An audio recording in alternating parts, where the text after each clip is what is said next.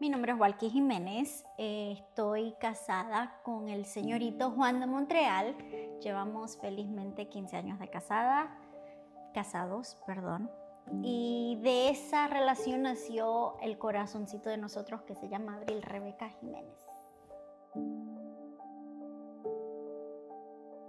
A Juan lo conocí en un evento evangelístico en la iglesia que asistíamos en ese tiempo, pero nos hicimos amigos, fuimos a un retiro, los días siguientes fuimos a un retiro de jóvenes y él estuvo a cargo de una obra de teatro. Y ahí fue la primera vez donde comenzamos a interactuar, a hablar y me llamó mucho la atención lo lo chistoso, lo alegre que era, que siempre estaba tratando de hacer reír a los jóvenes y todo eso. Entonces, a partir de ahí fue que nació la, una linda amistad entre nosotros. Y, bueno, 15 años más tarde aquí estamos. Quedé embarazada eh, al par de semanas después que habíamos anunciado todo en la iglesia, todo el mundo feliz, ay, que por fin mis suegros, mis papás, todo el mundo tuvimos una pérdida, perdimos al bebé. Eh, esto es algo que en realidad nunca hablamos de eso, pero, pero bueno, eh, tuvimos esa pérdida.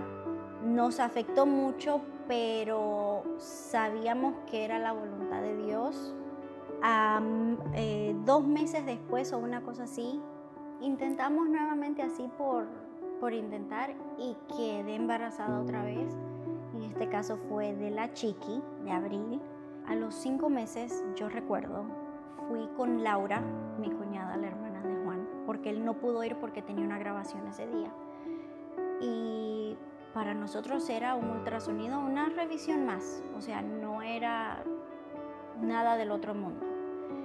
Eh, fuimos al ultrasonido y la, vemos que la, la técnica sale corriendo y vuelve y entra. Nos quedamos choqueadas las dos. Y ella viene, entra y nos dice, mira, eh, tu niña viene con síndrome de Down.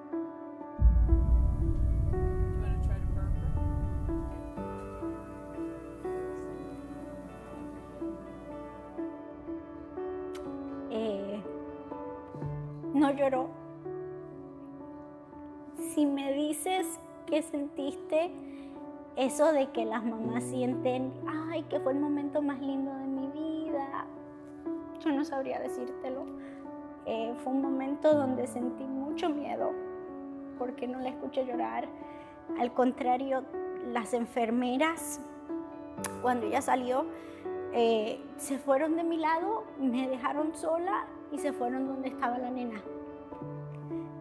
Y eso a mí me, o sea, me preocupó demasiado porque no la escucho llorando. Veo a todas las enfermeras y la doctora que están con ella. ¿Qué pasa? ¿Qué pasa? Nadie me decía nada. Juan al lado mío tratando de calmarme.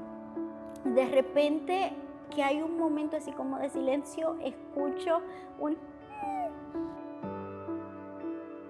Ha sido una bendición súper, súper, súper grande poder ser la mamá de Abril ver todas las cosas que Dios ha hecho en ella, eh, verla correr, verla ser la, mejor en su clase, ganarse todos los años el honor roll de la escuela, de su salón, eh, verla hablando.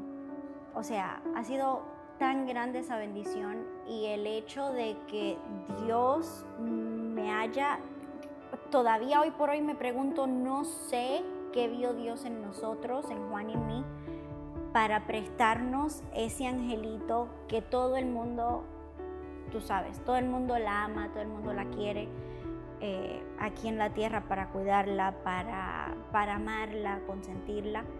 Es, es increíble. Y mi consejo para cualquier otra mami que esté pasando una situación difícil con, con su hijo, eh, o si no la estás pasando de igual forma, mi consejo es que te enfoques en la bendición.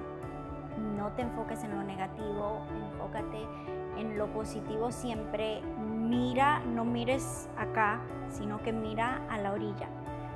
Así que disfrútalo, gózalo, eh, vive cada etapa incluso las, las etapas difíciles, las etapas no tan lindas, las etapas de hospitales, eh, porque son una bendición.